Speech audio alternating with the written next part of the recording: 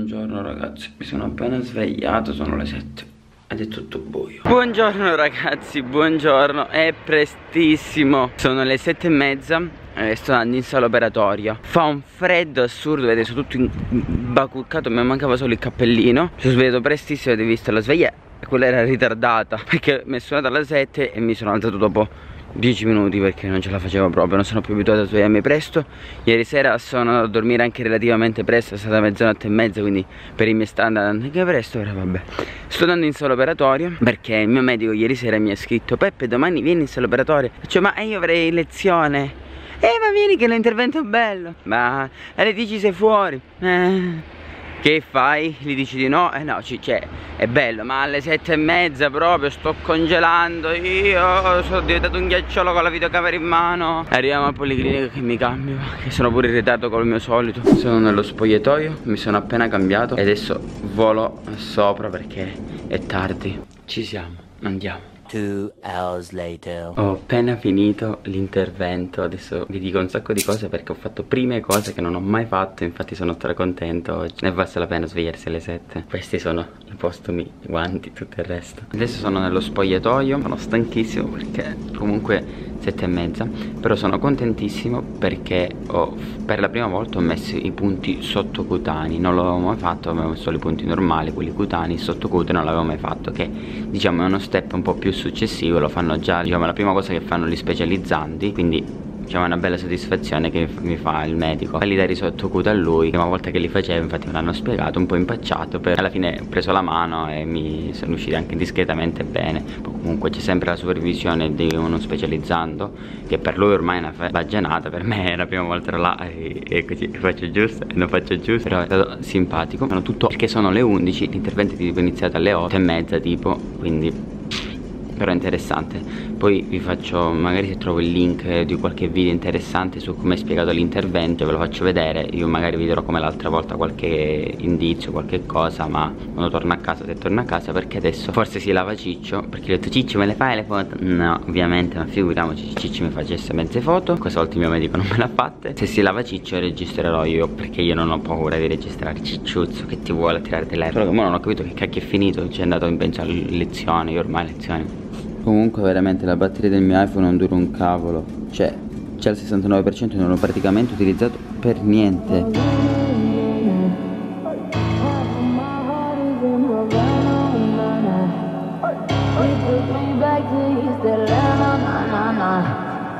All of my heart is in Havana There's something about his manners Havana,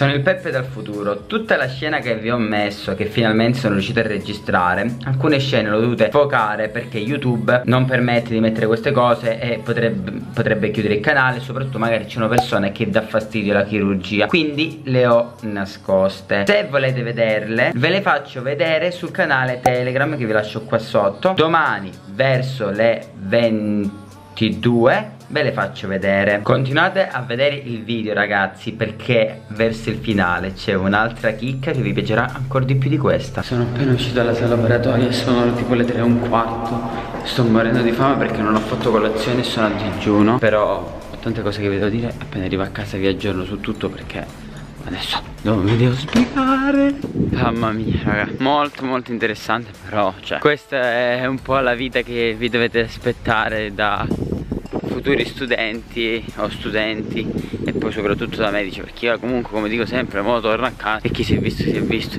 Il mio medico magari è scappato un attimo a casa e poi ritorna qua fino a stasera c'è tutto un giorno di sala operatoria è stancante ah ragazzi è stancante fidatevi. Che stare là eh, io comunque sì alla fine che faccio? Con quattro punti tengo i ferri due o tre cose faccio. Non è che faccio nulla di così particolare ma lui c'è il medico, in generale si, si spacca fare l'intervento, più l'ansia, più lo stress, è tutto in piedi, cioè, è stancante eh. Mi sa che ho ceduto un po' troppo con lo lo shopping online. Meno male che c'era un po' di sconto Risparmio una ventina di euro Ma sto spendendo 100 euro Uffa. Quanto mi può distruggere una mattina in sala operatoria? Cioè arrivo a casa mi cucino rapidamente un po' di riso con i broccoli ma veloce veloce una fettina di vitello e mi metto a dormire. Mi sono appena svegliato e sono le 6 ah, voi non avete idea di che stress è per me andare in sala operatoria. Cioè è da una parte stress ma dall'altra è molto bello cioè lo sapete quando sono felice. Però stress che voi non avete idea perché alla fine dei conti stai attento a tutto quello che devi fare non fai scemenze. Lo dico sempre ma è vero è la verità. Troppo è molto stressante. Quasi quasi mi vado ad allenare va.